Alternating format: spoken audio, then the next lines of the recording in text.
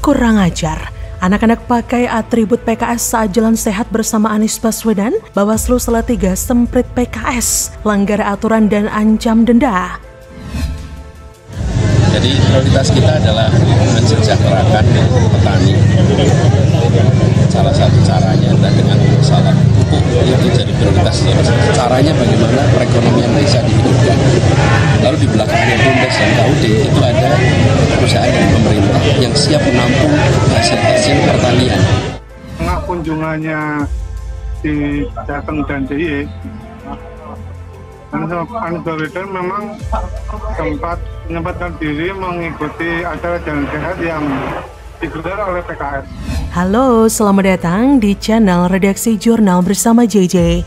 Badan Pengawas Pemilu atau Bawaslu Kota Salatiga menemukan indikasi pelanggaran dalam kegiatan jalan sehat yang diikuti Baca Pres Anies Baswedan minggu kemarin. Di antaranya adalah adanya anak kecil dengan atribut politik dan juga adanya indikasi pengerahan pelajar SMP. Menurut Bawaslu, anak-anak tidak diperkenankan ikut berkegiatan massal politik disinggung sebagai kegiatan jalan sehat, ia menjelaskan jika kegiatan itu menjadi ajang sosialisasi baca pres. Bawaslu pun sudah mendokumentasikan temuan tersebut. Pihaknya sudah membuat surat kepada penyelenggara. Isinya berupa teguran terkait temuan tersebut. Sementara Humas DPW PKS Dwi Pujianto mengaku belum mengetahui tentang hal tersebut. PKS ini memang partai pelanggar aturan dan munafik.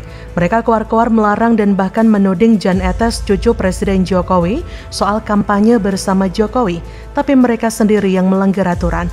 Orang-orang PKS adalah pihak yang membawa dan melibatkan anak-anak di bawah umur dalam kampanye PKS selama ini. Jadi ketika PKS mengatakan jangan melibatkan anak-anak dalam kampanye, itu sama saja seperti maling teriak maling. Karena selama ini yang melibatkan anak-anak dalam kampanye justru orang PKS sendiri. Inikah kelakuan orang PKS yang mengklaim dirinya sebagai partai Islam dan partai dakwah? Apakah orang PKS ini tidak malu atau tidak tahu malu dengan kelakuannya yang sudah memanfaatkan anak-anak, bahkan pelajar, demi kepentingan politik duniawi mereka? Padahal Bawaslu menghimbau peserta pemilu untuk tidak melibatkan anak di bawah umur 17 tahun dalam kegiatan politik dan kampanye. Hal tersebut diungkapkan anggota Bawaslu Muhammad Afifuddin. Pelibatan anak-anak dalam kampanye bertentangan dengan Undang-Undang Nomor 35 Tahun 2014 tentang Perlindungan Anak. Jika ada peserta pemilu yang terbukti melibatkan anak-anak, maka dikenakan sanksi 5 ton penjara dan atau denda 100 juta rupiah. Guna menyuarakan hal ini, Kementerian Pemberdayaan Perempuan dan Perlindungan Anak bekerja sama dengan Komisi Perlindungan Anak Indonesia, Bawaslu, dan KPU menggelar deklarasi komitmen bersama mewujudkan pemilu ramah anak. Keempat lembaga ini berkomitmen mewujudkan pemilu ramah anak. Bukan hanya kali ini saja, PKS juga pernah melakukan hal yang sama pada 2014 silam, yaitu melibatkan anak-anak dalam kampanye politik. Bahkan Bawaslu saat itu juga telah memanggil Presiden dari PKS pada saat itu Anies Mata terkait pelanggaran kampanye keterlibatan anak-anak yang ikut dalam berkampanye. Namun yang paling disayangkan adalah saat Presiden PKS mengatakan bahwa pelibatan anak-anak merupakan bentuk pendidikan politik sejak dini dan berdalih tidak ada salahnya jika melibatkan anak-anak ikut kampanye partai politik. Gila bukan? Itu hanyalah kedok dari PKS saja bahwa itu dilakukan sebagai bentuk pendidikan politik sejak dini. Faktanya, itu bisa saja sebagai doktrin-doktrin sesat dari PKS. Mendekati Pilpres, masing-masing partai memang berusaha merebut simpati rakyat agar terpilih menjadi partai pemenang pemilu. Partai juga berkepentingan agar capres yang diusung dapat terpilih sebagai presiden. PKS sudah terbukti sebagai partai yang melanggar aturan. Orang yang suka melanggar tentu berpotensi untuk melakukan pelanggaran yang lebih besar saat sudah menjadi pemimpin atau penguasa. Ini belum apa-apa sudah terbukti melanggar aturan. Bagaimana nanti kalau terpilih? Pelanggarannya bisa lebih besar dan lebih ngawur lagi. Bagaimana menurut Anda?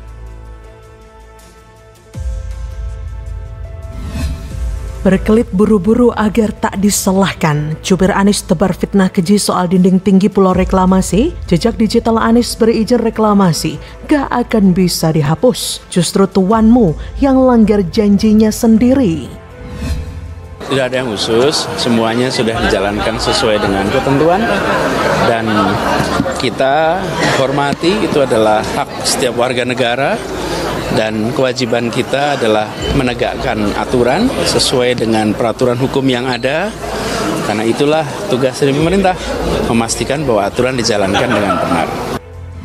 keluarlah izin dari 150 hektar gitu ya eh, kawasan eh, rekreasi Ancol yang kita tahu kalau kita berangkat dari unsur hukumnya ini nggak nggak ada gitu ya tidak jelas dan tentu ini sekali lagi membohongi masyarakat eh, di Jakarta tentang janji-janji yang ketika dia men mau menjabat sebagai gubernur ya ini sangat-sangat berbeda dengan apa yang dia janjikan gitu. Lalu hampir 48% itu digunakan buat fasum dan fasos untuk DKI. Lalu apalagi 5% dari tanah yang bisa dijual oleh pengembang ini boleh dipakai untuk nelayan lagi untuk masyarakat. Lalu apalagi tanah yang mereka jual? Setiap rupiah yang mereka jual 15% dari penjualan mereka NJOP itu dipakai buat pembangunan. Sehingga kita akan mendapatkan dalam 10 tahun 158 triliun kira-kira uang dari reklamasi. Halo, selamat datang di channel Redaksi Jurnal bersama JJ.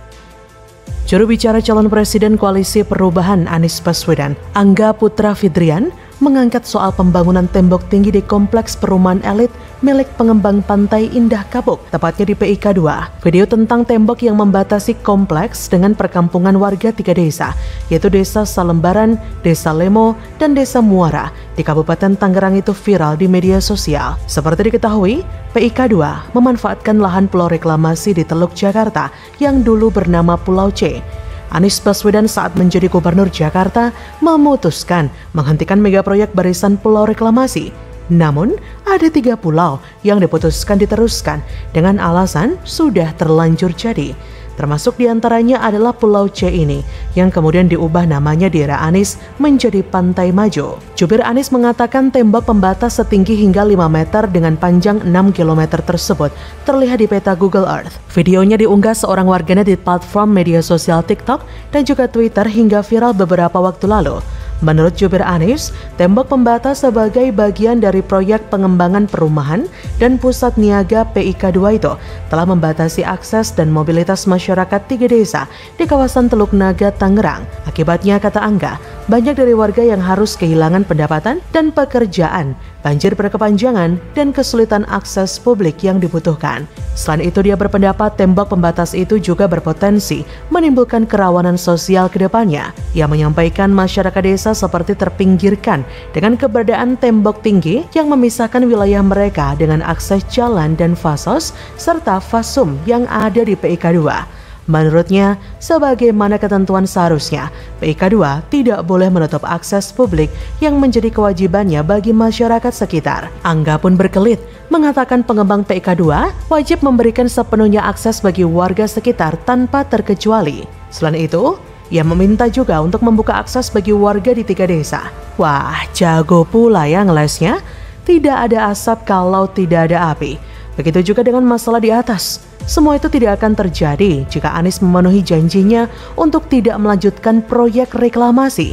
Jadi sekarang nggak usah teriak-teriak sok pahlawan membela kepentingan warga karena mau nyapres. Anda sendiri kok yang terbukti melanggar janji untuk tidak melanjutkan pembangunan pulau reklamasi. Bahkan, Koalisi Rakyat untuk Keadilan Perikanan, Kiara, mengecam keras Anies Baswedan lantaran telah memberikan izin reklamasi kepada PT Pembangunan Jaya Ancol seluas lebih kurang 150 hektar untuk perluasan kawasan rekreasi Taman Impian Jaya Ancol dan Dufan. Sekretaris Jenderal Kiara Susan Herawati mengatakan bahwa izin perluasan reklamasi kawasan Ancol dan Dufan merupakan ironi karena Anies pernah berjanji akan menghentikan proyek reklamasi Teluk Jakarta. Susan menyebutkan, Gapkup tersebut memiliki kecatatan hukum karena hanya berdasarkan pada tiga undang-undang, yaitu Undang-Undang Nomor 29 Tahun 2007 tentang Pemprov DKI sebagai ibu kota negara, Undang-Undang Nomor 23 Tahun 2014 tentang Pemerintah Daerah dan Undang-Undang Nomor 30 Tahun 2014 tentang Administrasi Pemerintahan. Ia menilai ketiga undang-undang tersebut terlihat dipilih oleh Anies Baswedan karena sesuai dengan kepentingannya sebagai gubernur Jakarta pada waktu itu. Pemberian izin reklamasi untuk perluasan kawasan rekreasi di Pantai Ancol hanya akan memperkuat praktik komersialisasi kawasan pesisir di Teluk Jakarta yang tidak sejalan dengan undang-undang dan juga putusan dari MK. Tak hanya itu saja, menurut Susan, pemberian izin reklamasi untuk perluasan kawasan